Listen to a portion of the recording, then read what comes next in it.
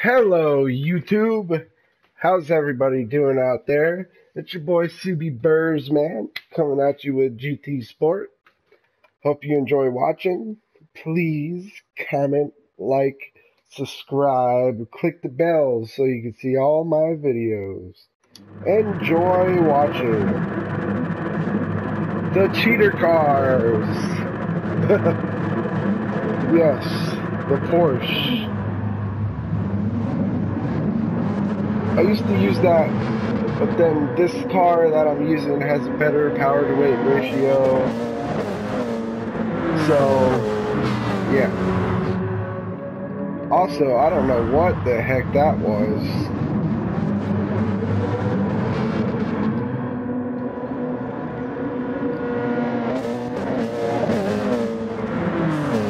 What the heck was he doing? Well, here we go. Look at the cheater cars go. I call them cheater cars because their acceleration is ridiculous.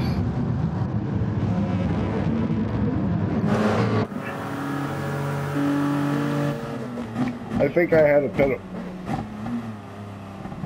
I got rear-ended right there. Watch. Almost hit that guy. I don't know. He, he must not have been paying attention or something. But those Porsches, man. See, I got bumped slightly. I accidentally bumped him and I got a penalty. but it wasn't a big penalty, it was a small one, it's okay. Look at the acceleration of those cars. I lost to the Porsche's acceleration. Watch. There they go. Look at that. There's a Porsche behind me. I didn't know he got next to me. There he goes. Look at the acceleration. It's it's horrible. It's horrible. I used to use it all the time. But tried to try something new. But thought that better power to weight ratio would be better. It wasn't by much. but one thing that's bad about the Porsches is you have to brake sooner than this car. And I I was already on the brakes, but ABS is on weak. If I slam the brakes, I slide. So tried to avoid it, got another penalty. That's okay. But look at that. Look at them. Their acceleration is like it's ridiculous. It's you almost if you race any car that's not the Porsche, you're gonna lose. There's no way to win.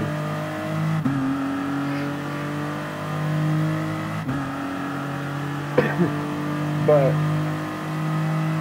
my car does have a higher top speed and drafting along with the higher top speed is pretty good. I stole the inside there.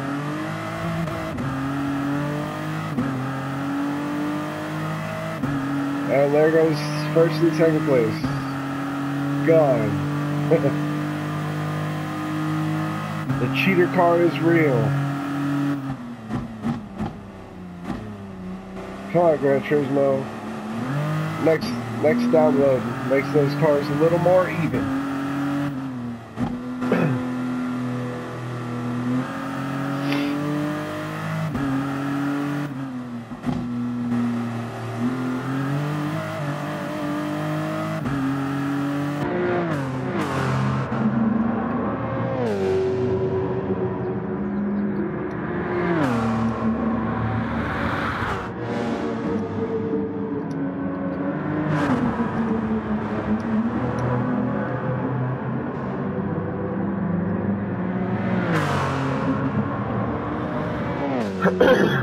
Yep.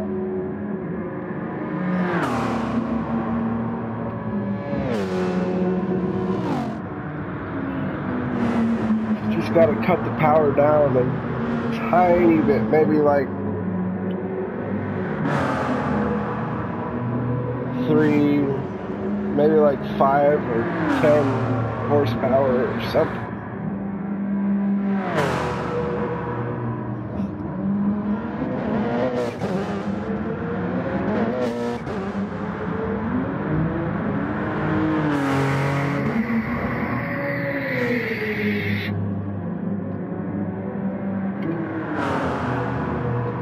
Mean, you make it so we can't tune our cars, and then you don't make the cars even. Aren't we not able to tune our cars so that the cars are even? That's a good almost mess up right there.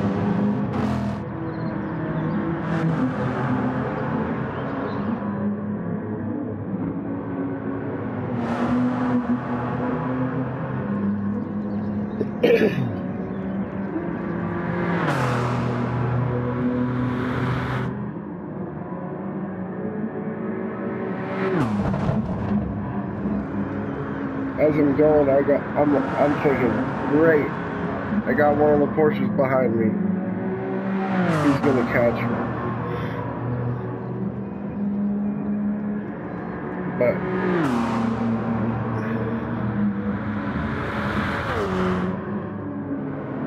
I drive with this view because it's the only view with a rear view. this needs a rear view at the top of the screen or something. Because when you do the inside, actually this one's got a pretty good rear view. I never noticed that. Top right of the screen. That's a pretty good rear view camera actually. A rear view mirror. But unless we could well, why can't we use a VR headset online? It's another question. It'd be so much better because you could look around in your car like you're actually driving. You could look at the rear view mirror in the middle of the car, you could look at the ones outside the, the windows, you could look next to you.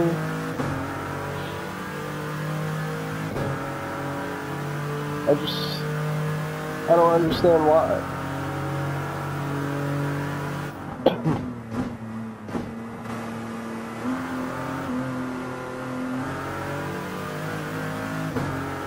It's just so much better to use the VR headset and have the steering wheel and the pedals and the shifter. It'd be so so cool. But yeah. As of now I drive this view just because of the rear view mirror.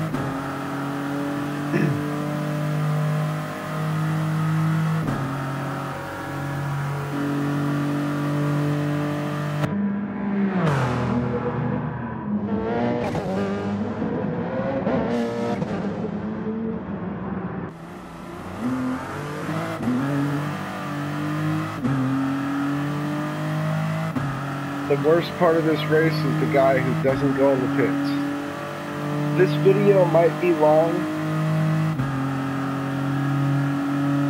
It might be a long video because I think I'm going to record this guy throughout the whole race because he had a lot of complaints. A lot of complaints. Just don't remember the name. Actually, you know what? I think I'll make a separate video dedicated to that guy. But as of now, this one's just gonna be just me.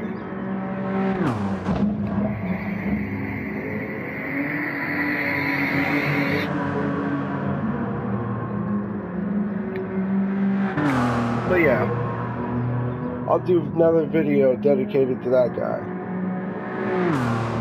And you'll see it. If you continue to the end of this video, you will know who it is, so that when you see it in the description, you'll know what you're watching. So stick hmm. around to the end, or just skip to the end or to the middle when it's pit time because this is when he catches up to me.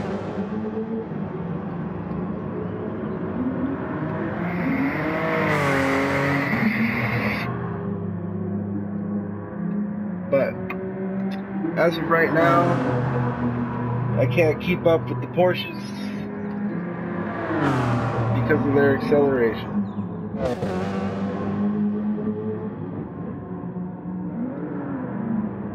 Oh, and I messed up there. Forgot about that one.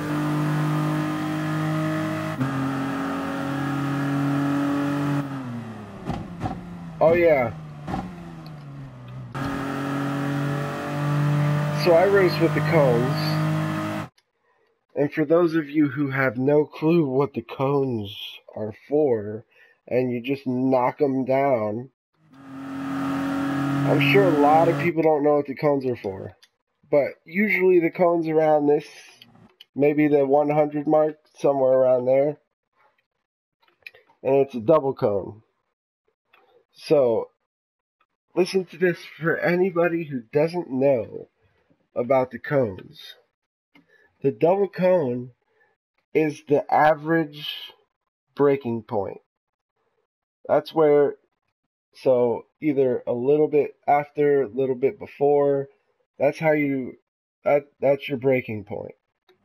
Now this one with the single, that's when you start turning. Now, I messed up there because the cone was gone and I didn't think about it. But look, double cone, brake, single cone, turn. Watch.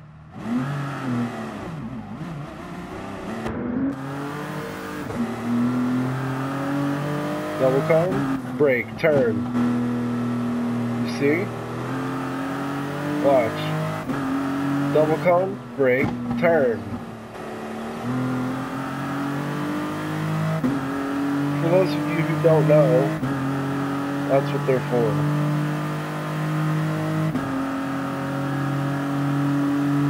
And it also marks where your braking point should be. Or, not your braking point. It, it also helps with where your racing line is supposed to be.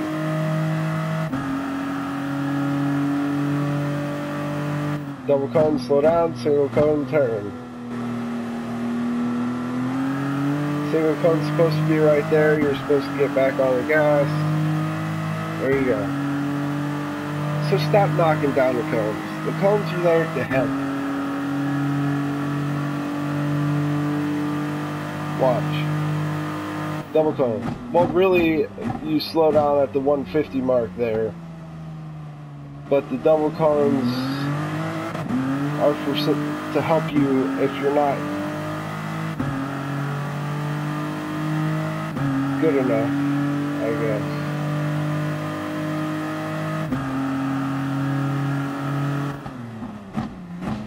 I broke way too early there.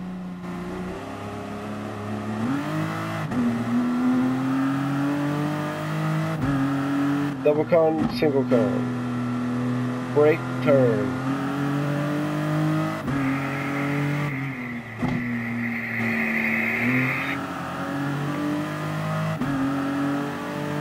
Now, the cones are there just to tell you that that is the average braking point. You can hit the brakes before it. You can hit the brakes after.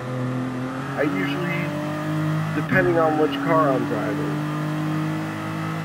I I usually pass it a little bit.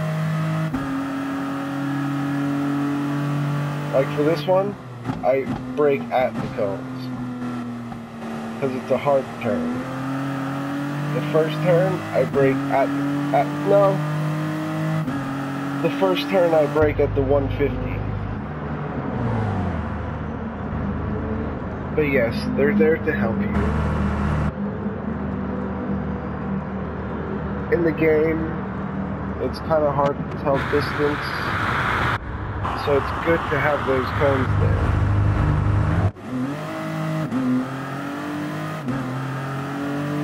It's not hard to tell the distance. Distance. It's just not accurate. Speed Striker, he's the problem. So he skipped the pit.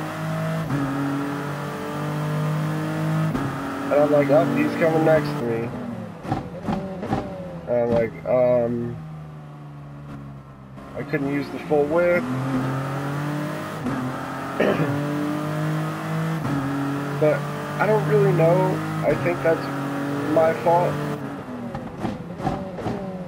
Well, not really, because I stayed within the the line.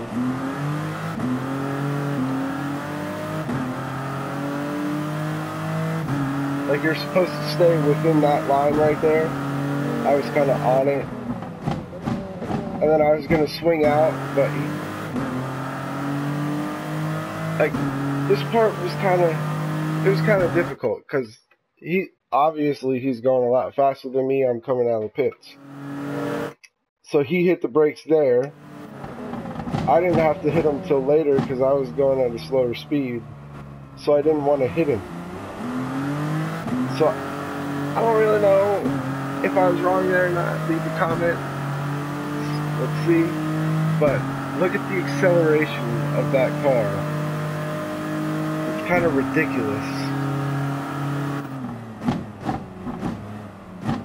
Watch.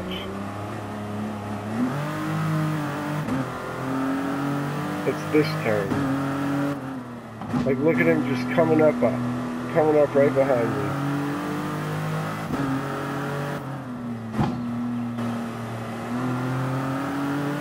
Long straightaway, watch. That acceleration is so stupid. but then again, I have higher top speed.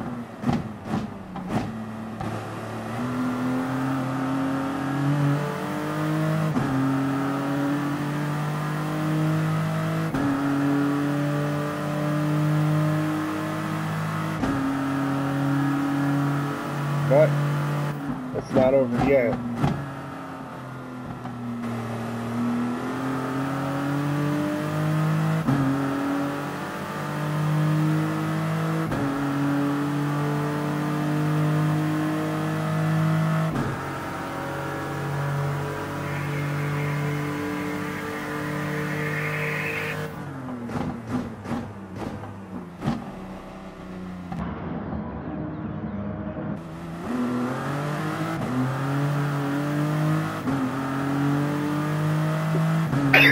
so he didn't go in the pits again. So either he went in the pit. Well, if he went, I messed up there. If he went into the pits early, he shouldn't be this close. And boom.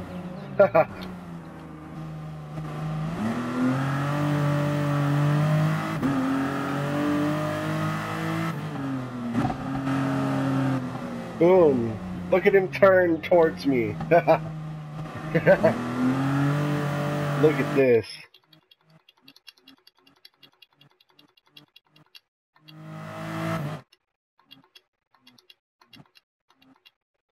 I thought I was leaving him enough room. But again, in this game, you can't tell distance. Look at him push me. And that's a guy who never went in the pits somehow and just ruined my third place. Now I'm in fifth.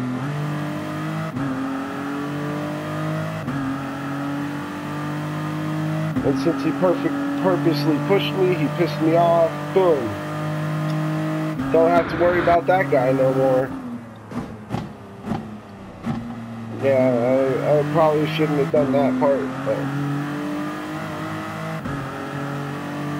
Yeah. He made me lose third place. And he never even went in the pits.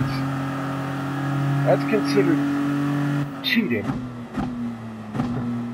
Not necessarily cheating, but it was pretty messed up.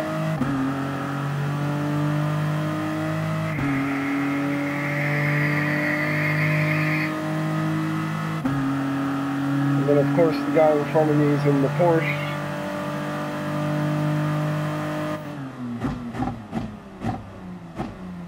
Nothing I can do. Look at the acceleration. Gone. Goodbye.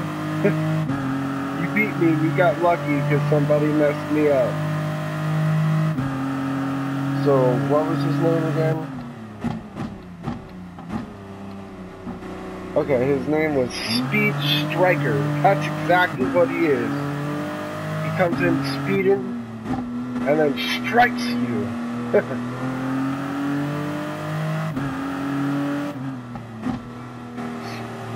Oh, Seed Striker. I read it wrong. Seed Striker. Okay. Remember that name, everybody. In the title, it's going to say GT Sport Seed Striker. But if he isn't as bad as people say, I probably won't be posting the video but most likely I'm going to be posting a video because a lot of people said, a lot of people had things to say about him. So I'm going to make another video of him, dedicated to him, so that everybody can see not to race against, or to be careful when they race against him. That's the next video.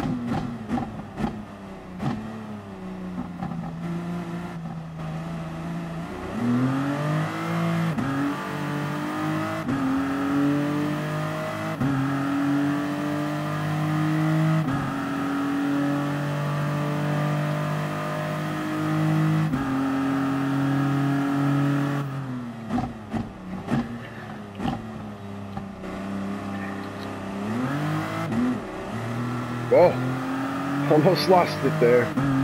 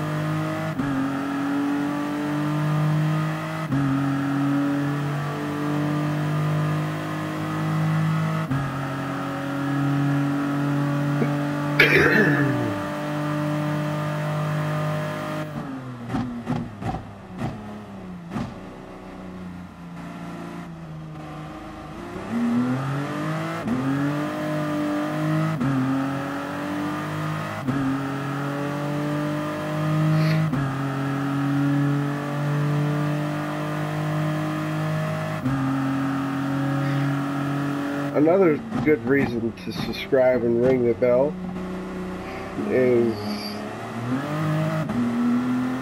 if you want to learn good racing line, you watch you watch my videos. It's probably not the best racing line, but it's a good one.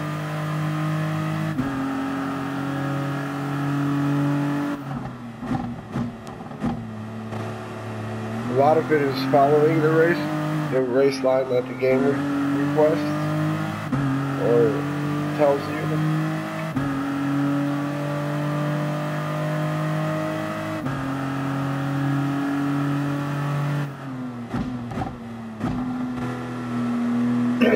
but the racing line, the one that it tells you to take, sometimes isn't exactly right had to let my penalties go. Sometimes it's not exactly the best way, but I I some of the racing line, like where it tells you to go, I kind of like have tested them over time, and I still go the way where I would get a better time. So I think it is a good place to learn a good racing line. Anyways, that's it for this video. Wait till the next one where I expose Siege Striker.